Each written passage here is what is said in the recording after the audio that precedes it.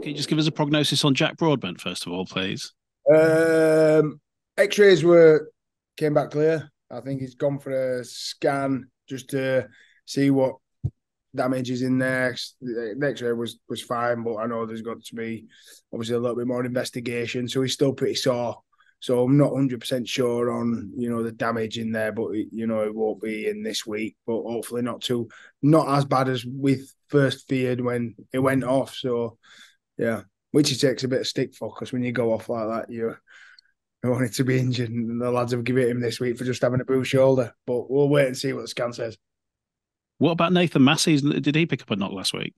Yeah, yeah, his knee. Um, I think he just came on, did a couple of carries, and, and got injured, unfortunately. So it's again not as bad as as first feared, which is which is great news for Mass. But we'll just see see how it settles down. Obviously, the first couple of weeks are really important in terms of treating it and, and letting it settle, and and hopefully, you know, we'd love to see them two back before the end of the season.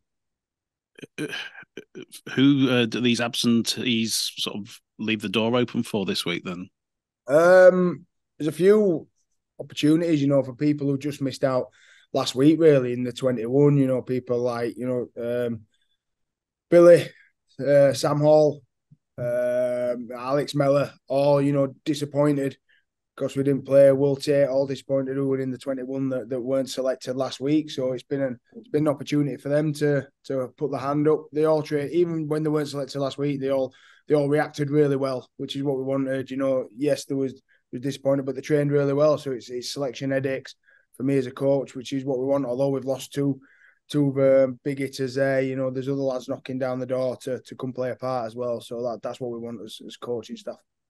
Something I noticed last week, Danny, I meant to, to bring up after the game, but forgot. You came out very early for the second half. You left the players in the, the dressing room for quite some time. Was that a conscious thing, or did you did you lose track of time?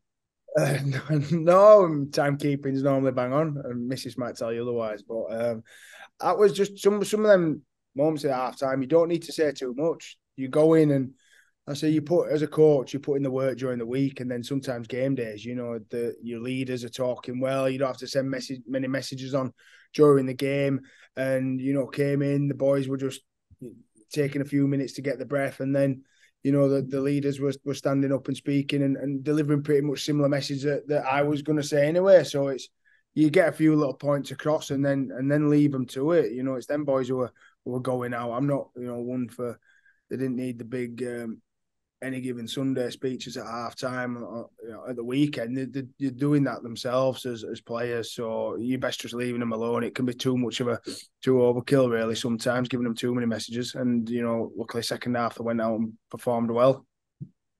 Just on the player front, obviously, the club have announced the the uh, forthcoming departures of Niall and Niall Evalds and Jordan Turner.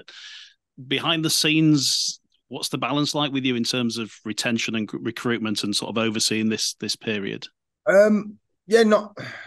I've been just fully concentrated on the games at the minute. You know, I mean, I, speak to speak to Danny and Mark quite a bit, but at the same time, I know it's hard for them to plan in the situation they're in. But leaving them to to get on with with the planning and a lot of that, you know, is um, recruitment, retention. You know, them decisions have been been made before I came in. So I'm just fully focused on, on, on preparing the team for the weekend. Really, you know, yes, I'll give advice and, and thoughts on, on certain things, but you know, for, for me, just coming in now, it's all just taking that game that's in front of us. Five games left. Your penultimate home game this Friday. How significant do you feel this one is in particular? Uh, yeah, every game's every game's massive. You know, Wakey was a massive game last week, and now we're on to this one, and it's that one that's ahead of you that's that's the biggest game. So I'm really looking forward to to coming back home after after a good win at the weekend. We know we just got to focus on performance and and back up a good victory with with with another solid performance. We can't let standard slips. We can't get excited or ahead of ourselves of, of where we're at and what's coming. We, you know, we've got what better game than you know the champions coming down here. Do you know where we where you know you're gonna have to be on your money all across the field. Everyone's going to have to turn up and be be the best for us to to compete with you know one of the best teams in the comp. Um, so that that's all the main focus has been this week. How special will that be for you on Friday, your first home game in charge? I can't wait. Yeah, I can't wait. Everyone again straight after game Friday. Everyone's just buzzing and talking about getting back to the jungle this week and, and playing in front of the fans who were, who were immense at, at the weekend. So it, yeah, I remember I said I've come here as a as a player on the opposition, um, coach on the opposition side. I played for you know Castle. I know what you know this means to to the supporters. I know the energy that they're going to bring, and and hopefully I can't wait to to get out and, and, and experience that again as a coach this week. Did I read somewhere that you'd move back in with your mum and dad? Yeah, that's right. Yeah. How's how's that going? all right, yeah. bring uh, your washing with you? Going well, yeah. Fish fingers, chips and beans on a Monday, chicken nuggets, chips and beans on Tuesday, crispy pancakes Wednesday. It's just like being a kid again. It's it's uh yeah, it's, it's awesome. Well, it's, it's down the road. It's back in Dewsbury, you know, back in familiar surroundings. My mum and dad's you know, fantastic. So we just went and, and I said as soon as I got this job, you know, do you want to lodge you for for six weeks? And and yeah, it was a nice short term fix. Um, not discussed any board at this minute. I keep dodging, keep dodging my dad when he's when he's strolling around, you know, like tapping me up. So I just keep pretending to be on the phone and stuff like that. So I'm just laying low on that front at the minute. But it, yeah, it's been again great, easy, easy to jump back in there, and um, not too far away, back in Dewsbury, not too far away from Cass on a morning. Just lastly from me, talking of turning the clock back, what did you get in your GCSEs? I didn't do too bad actually. Surprisingly, I, I, I got um, what I get. I got a double in science. Um, you're looking to really surprised like that. So you're looking shocked. No, no. I got a B in English literature, B in geography, C in maths, and a, a C in English language. Yeah. B in English literature is really good. Oh yeah, oh, yeah. Oh, all your tip sheets spelt right. That's it. It was it was Kestrel for a Knave, you know, absolute classic of a book we, we did for his GCSEs. It was still got it on my bookshelf now at home. So um, yeah, it was a surprise a few people. Got an F in design and technology, which probably explains a lot of my DIY that's around the home as well. That's absolutely shoddy. That's not improved since me F there, but I don't talk about that. And me E in German as well, but we don't talk about them ones. We just celebrate the wins. Mm. As has been mentioned, now Niall Evalds' departure has been confirmed. What what are the chances of him playing again this year and getting a proper send off? Um, I'm still hopeful. I think Niall is. You know, it's been a, been a tough year for him injury wise. Uh, we're not totally ruled out him playing again at the end of the year, but it's a, it's obviously a big ask at the same time. So we're just taking one week at a time with his recovery. You know, there's no there's no pressure on on Niall to to get back out on the field and do that. You know, it's um, we're okay for bodies at the minute. If but always good to to have a send off in. If you if you move it on and, and someone of, of Niall's character as well, it'd be great. But we'll just take that one week at a time. If he is fit, you know, and can put his hand up, fair enough. If if not, then you know that's unfortunate. Yeah, you might have answered my next question just then. But any thoughts about bringing the guys out uh, back who are out on loan, or are you comfortable with what you got? At the minute, comfortable with what we've got. Again, it's, it's week by week. That can soon change in in in eighty minutes, and and we don't know where we're at. But at the minute, you know, I'm really happy with the lads and and fitness wise. You know, the medical team's doing a fantastic job. Getting it is tough at this time of year with with bodies creaking, but you know they're doing an amazing job. The lads are looking after themselves, so I'm really happy where we're at at the minute. But yeah, never rule anything out. Yeah, uh, is this week about avoiding it after the Lords May show type of performance after such a, a big win last week? Um, yeah, yeah, we've just spoke about consistency. We, we need that. We've not had that all year, and and yeah, it was a good performance. Um, lots of areas we needed to fix up after the weekend, and we got, we got straight back on that on Saturday morning in in review. You know, highlighting some areas where we needed to be better, where we got exposed, and we're talking about just performing, especially at home, especially in front of us fans. You know, we we owe it to ourselves and and to them to to back it up with a good performance this week against you know a very good Saints side. So that's all been the focus is consistency. Yeah, it seems like you've been a breath, breath of fresh air since you come in. Have you made a conscious effort to set the pressure off having been in this situation before? Um, a little bit, yeah, a little bit. It's just about getting the boys confident. You know, we had a fantastic week of training last week, and it was important. We didn't speak about it much, but to get the win was was immense. You know, to to keep that confidence rolling, to keep that buzz about us. Um, but then now comes the balance of getting them back down to earth and and you know saying, well, look, we, we had that result at the weekend because of the hard work we put in during the week. And and the intensity they were brought to training and buzz we had about his place. We can't, you know, sit back on that and, and and pat ourselves on the back too much. It's it's back to square one on Monday when we were back training. Yeah, is your experience with London helping you? I definitely think so. Yeah, my experience in, in, in you reach to reaching all them experiences as a player, as a as a coach at different levels, and and certainly I think yeah the experiences I had at London in, in similar situations in in nineteen, I can definitely draw on them and, and, and see the areas that we we could have and should have done differently, and the areas we were successful. Yeah, you beat Saints twice with London, didn't you, in 2019? Um, although they did rest a few in, in both games, is that evidence that you can turn the table on its head in, in games like this? Definitely, yeah. You know, they're a very good side.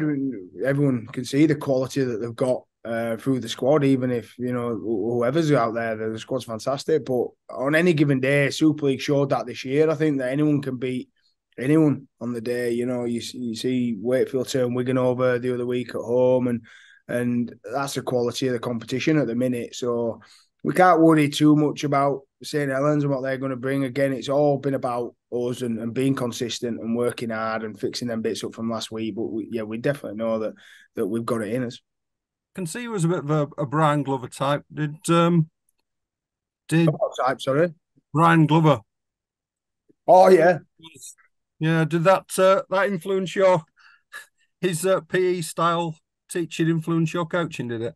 Take influence from everywhere, don't you? It's that, it, was, it was his first um, idol as a as a coach growing up. Yeah, playing playing uh, in all the games in training and making your own rules up as you go. Definitely a bit of a bit of Kes in all of us. Yeah. what's um what's your dad had to say about you taking over uh, Cass? Is he very supportive? Yeah, of course. Yeah, it was, it was made up to, to see me back um, back coaching and just yeah. I mean, parents are just happy as long as the kids are happy. So he just saw saw how, how made up I was, and and yeah, it's just it's great for him to see his see his back in. Yeah. Have you begin been um, giving any drop goal practice in in training? I don't want to embarrass the halves really. It's uh, keep that one keep that one in my locker for a few more weeks, and I don't know if the, the hips and knees can can do that many many more times. But uh, yeah, hopefully we won't be needing won't be needing many, but you never know. I might I might surprise a few. That's still one of my favourite Super League moments. yeah, it's, it's crazy how, how talked about that still is when people. That's the only thing that people remember for is is dropping a goal. But I take that because there's not many not many props that have done it. Yeah. Um, just a quick one. Just thinking back to Friday, how satisfying was it for you to get that win, your first game back in Super League, on the same ground that you actually, you know, had such a disappointing loss in your last game in Super League in 2019. Yeah, uh, certainly exercised a few demons. I think going to Wakefield. Wakefield's a really tough place to go, and and as a player and a coach, you know, it's been been tough going there. And and yeah, we spoke about last week about me going there as a player with Cassie in 06 and last game of the season I was with London on 19. So yeah, third time lucky. I think it was but it could have been anywhere. I'm not bothered where we'd have been playing um, at the weekend as long as we got the victory. Which, but yeah, well, it, it was pretty special after after some tough times in the past there. Did you ever think to yourself, you know, when when that game ended four years ago, that it would be four years, it would be four years before you got back into Super League? Because you know, most people, me included, would have expected you to either bring London Broncos back into Super League the following year or be at another Super League club, you know, given what you did in 2019, which was actually hugely impressive to um, to you know to very nearly avoid relegation that year.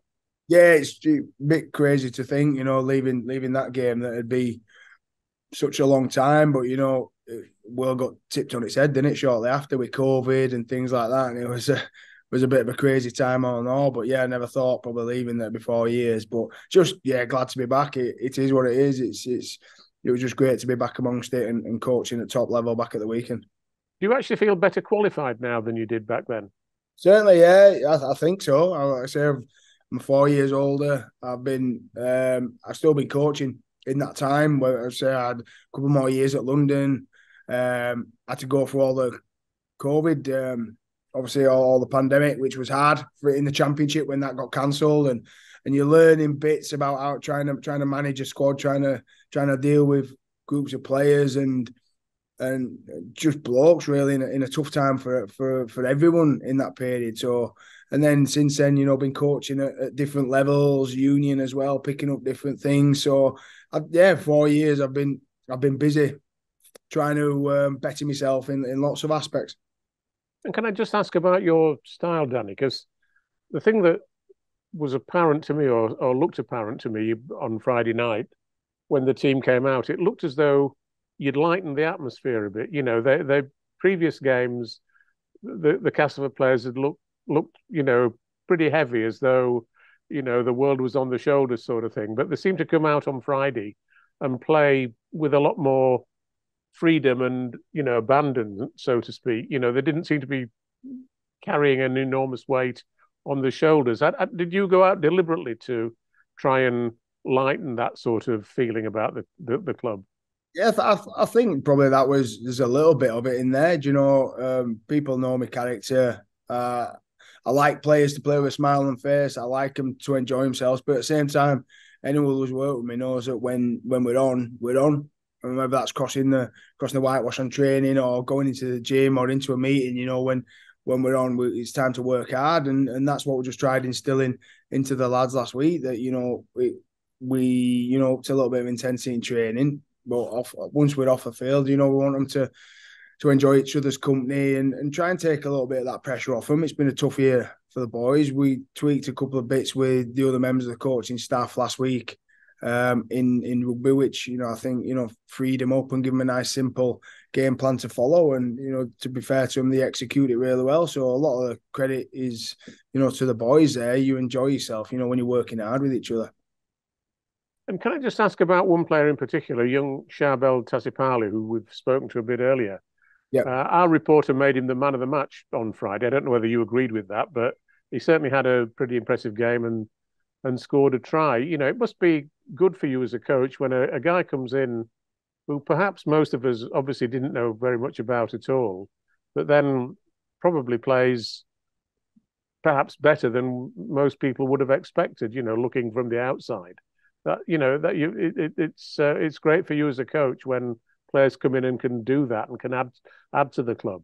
Yeah, I think he probably was a bit of an unknown going in. You know, people didn't know too much about him. That's first time I've managed to see him, you know, playing live as well. I'm, I'm really impressed. He was good in training all last week, and yeah, I thought yeah, I thought he had a very good game at the weekend. You know, had a, had a lots on an edge. He's a big boy as well. You know, so he's, he's, it was hard to handle. I thought he started the game for us fantastic. So yeah, that's what we want. We want people to really put their hand up and and put in some strong performances, and and he was certainly one of them at the weekend. They're very pleasing.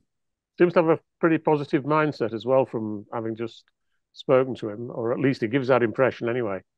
Yeah, he, he does. He again just seems seems to have a smile on his face. Really enjoys his rugby, enjoys training. It looks like he's loving being here amongst the lads. Like I, think I said last week, these these new boys who've just come in, they look like they've been here all year, if not two years. Um, it goes to with the team spirit of, of the boys um, that they've fitted in so well. So it can be tough going to a different country and playing with a new team, and and these have just slotted in really, really well, and and they're sticking their hand up and working hard for the team.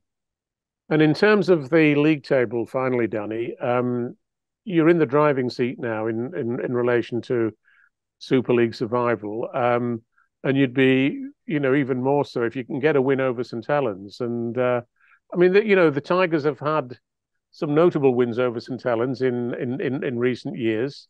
Um, hopefully, this might be one of them from your point of view. Hopefully, yeah, that's what we go out every week with that with that mindset and that that plan to you know perform and and hopefully get wins in games. Um, you know, league table wise, you know, we can't look at it. We're just we've just got to focus on you know, cliches again. We've got to focus on one game at a time, and that's the one ahead of us. We can't be looking at, at what other teams are doing or who's playing who or who's up next. We say Scar. We've just got to fully focus on on Saints this week, and I think that's that's the beauty of being at home as well against you know the Super League champs, world champs. If we can't get on for this and focus on this one and, and be looking elsewhere, then then we then we're in trouble. Um, obviously, with the result on Friday, is there a danger of you getting too far ahead of yourselves and thinking that you know it's all sorted now and like relegations out the window? Or yeah, course there is. Yeah, yeah, yeah. That was the messages. You know, when we spoke before the game, and I said, I said, mine and uh, Mark Applegarth messages would have been the same when people are building it up as a as a must win, and we'd have both said the same. If we'd have lost or won on Friday night, there's five games left. It, it means absolutely nothing in the scheme of things if we don't continue performing and getting better. You know, it, it, it's all it's all just focused on being being better each week, and, and that is the that is a challenge for us is to keep us grounded and not. It wasn't the be all and end all at the week uh, at the weekend. It, it wasn't at all and we knew that going in. So that's the main focus. We can't get carried away, as we've said many a time. So hopefully the boys know that message. We've been working hard this week in training again, and it, again we enjoyed it at the weekend. It, it was great, soaked up that atmosphere, and you've got to enjoy them moments. But, you know, come Saturday morning when we're back in for review, Monday morning when we're on the field, you know, it's back to business. It's gone. It, there's no point, you know, um, patting ourselves on the back anymore.